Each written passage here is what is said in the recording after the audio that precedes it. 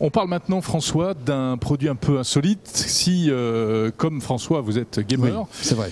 et du genre émotif en plus, Oui. forcément, Pop, pop, pop, quand vous êtes dans des parties un peu compliquées, vous avez Oui. la sueur qui perle, vous avez le, le cœur Les qui larmes qui s'accélère, coulent, les larmes, qui coulent, etc. coulent, bien sûr.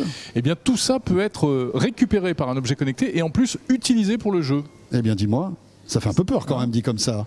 Bon, on va essayer de rentrer un peu dans les, dans les détails avec notre invité Yann Fraki. Bonjour Yann. Bonjour. Vous êtes le CEO d'Ironova. Alors, avant que vous nous expliquiez tout ça, on met le petit compteur en route. C'est parti. 6 minutes donc pour découvrir Ironova. Yann, on vous écoute. Alors, Qu'est-ce que Ironova, Bien dans le micro, s'il vous plaît. Hop là. Alors Ironova, c'est une start-up euh, de la neuroscience en fait, qui a été créée en 2012. Euh, on est expert en, en neurosciences et en, en intelligence artificielle. Et on va euh, reconnaître les, euh, patterns de, chaque émotion humaine à travers uniquement la physiologie, c'est-à-dire le rythme cardiaque, température corporelle, les micro-sudations comme, euh, comme vous l'avez cité. Tout ça grâce à la révolution que le machine learning, le deep learning amène aujourd'hui sur le marché. Et on va travailler sur des gros montants de données, c'est-à-dire plus de dizaines de milliers de personnes enregistrées. Et on va pouvoir du coup reconnaître euh, si c'est positif, si c'est négatif, si c'est excité, si c'est calme. Et tout ça dans le but de révolutionner les interactions homme-machine. Vraiment, c'est ça. Donc le jeu vidéo, c'est une partie des C'est une interactions partie de. Oui, oui, oui. C'est la partie ludique, on va dire, mais ça va beaucoup plus loin. Exactement. Euh, nous, on veut aussi, par exemple, révolutionner tout ce qui est euh, interaction avec des, des IA, euh, que ce soit euh, véhicule autonome, euh, votre frigo de main, Hmm. euh, la home station. Alors, dis donc, c'est ambitieux comme programme. Ah hein. oui. Exactement. Donc, on a Ouais. vraiment, nous, le- on veut changer ça. C'est-à-dire qu'il y a, d'autres euh, entreprises qui travaillent sur la- plutôt des aspects neuromarketing. Nous, on est vraiment dans l'interface homme-machine, l'UX. On parle un peu de comment ça se passe pour, pour le jeu, en l'occurrence. C'est ce qu'on voit actuellement. Oui. Comment ça se concrétise? Donc, il y a un bracelet, des bracelets?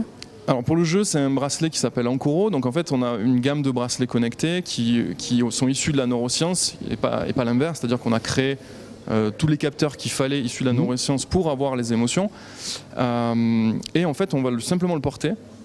Il va reconnaître un état et il va l'envoyer en direct au jeu qui va lui prendre une nouvelle mécanique. C'est-à-dire, par exemple, on était à l'E3 euh, à Los Angeles cette année, Mhm. on a présenté une démo euh, en réalité virtuelle où quand le joueur, par exemple, avait peur, sa vision allait se troubler, se troubler ou euh, les monstres allaient le sentir. C'est-à-dire qu'on rajoute une interaction instantanée liée à notre état émotionnel, en fait, Ouais. si j'ai bien compris. hein. Mais il faut que le jeu euh, soit compatible. Voilà. Ah Donc bah oui, ça va tout notre euh, combat en fait aujourd'hui, c'est de, de distribuer nos kits de développement Eh oui. le plus possible. Et c'est pour ça qu'on travaille avec des, on est en discussion en tout cas avec des grands groupes de jeux vidéo, euh, mais aussi des grands industriels, euh, que ce soit du facteur humain euh, ou de l'énergie, Mhm. pour rajouter cette composante et interagir avec tout notre quotidien en fait.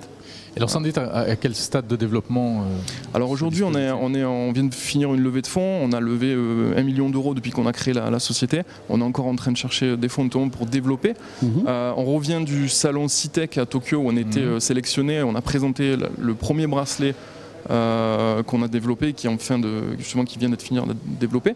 Et l'année prochaine, en fait, on veut euh, attaquer le marché de la santé. C'est notre premier marché où on va monitorer en fait les patients euh, à distance et euh, on va extraire pas mal d'informations à partir de leurs signaux physiologiques. Alors attendez, donc là c'est différent, c'est autre chose. Vous Oui. allez analyser certains signes vitaux de certains patients, mais ça, ça existe déjà. L'Apple Watch fait euh, analyse plein de trucs. Qu'est-ce que vous allez apporter de plus? Alors, ce qu'on a- Parce qu'il y a de la concurrence maintenant sur ce marché-là. hein. Justement, nous, ce qu'on apporte de plus, c'est toute la classification qu'il va y avoir derrière. Par exemple, on va pouvoir euh, reconnaître la pression artérielle.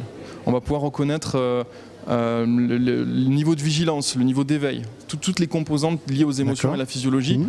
Euh, et euh, donc, voilà, notre expertise, elle est, elle est vraiment là. Et on va beaucoup plus loin, bien sûr, avec le jeu vidéo où la, nécessi- la nécessité d'émotion, la précision dans l'émotion est, est plus importante. Parlez-nous du, machine- du machine learning. Euh, là, l'intelligence artificielle et le, le traitement de millions de données est capital justement pour voir remonter comme ça des, certaines informations. Exactement. En fait, là, on va vraiment travailler, nous, euh, euh, avec des, des- des grandes masses de données pour reconnaître des patrons, en fait, des patterns de, Mhm. De, de ce qui se passe dans, dans l'être humain. C'est-à-dire que on va des fois, de- par exemple pour les émotions, on va travailler sur du, euh, du label subjectif, c'est-à-dire que la personne va dire je ressens cette émotion, etc.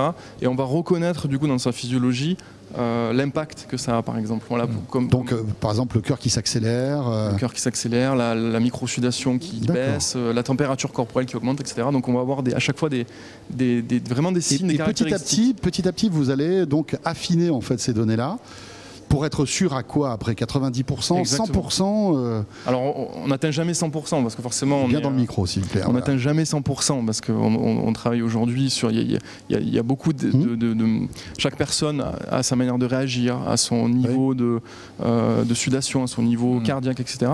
Et c'est pour ça que plus on a de données, plus on va être précis, comme vous dites, et plus on va avoir, on va appro- s'app- s'approcher des 95-97% de reconnaissance. Oui, etc. ça peut servir de détecteur de mensonges également. Complètement. Oula. C'est- voilà. Euh, Eh en oui. fait, on travaille sur le système nerveux autonome, c'est-à-dire que c'est quelque chose qu'on ne peut pas contrôler. Alors que, par exemple, notre- la technologie concurrente, c'est la reconnaissance faciale, et on, on a beaucoup plus de contrôle sur le visage Mhm. qu'on l'a sur le cœur ou sur no- notre micro-sudation, par exemple. D'accord. On peut imaginer que l'armée pourrait être intéressée par votre techno, non? Ils sont pas déjà euh, venus vous voir? Alors non, pour l'instant, on est, on est toujours, euh, on est toujours, voilà, on se focus sur certaines activités, mais oui, plus tard, pourquoi Mais pas. vous pensez avoir donc une, une avance véritable euh, par rapport à d'autres choses, comme l'a dit François, qui, qui se développent? On sait que ce, ce type de produit est quand même euh, dans les labos de un peu Alors partout. complètement, justement, aujourd'hui on travaille avec les plus grands laboratoires euh, de- dans ce domaine-là, notamment au Canada ou, euh, ou dans- ou en- à Paris et, et en région. Euh, on voit où où est la science aujourd'hui à ce domaine-là et on voit qu'on en train de pousser ce- Votre, cette votre équipe, c'est des profils de scientifiques C'est ça exactement, neuroscientifique, tra- docteur en traitement du signal. Rappelez-nous le nom du bracelet qui. Alors euh, le bracelet pour le gaming s'appelle Ankoro, mais il la est sorti? Technologie... Il n'est pas encore sorti. Non, il n'est pas sorti. D'accord. Euh, la technologie s'appelle Emotion Sense. D'accord. Voilà. Bon, ben voilà, écoutez, C'est 6 fini. minutes.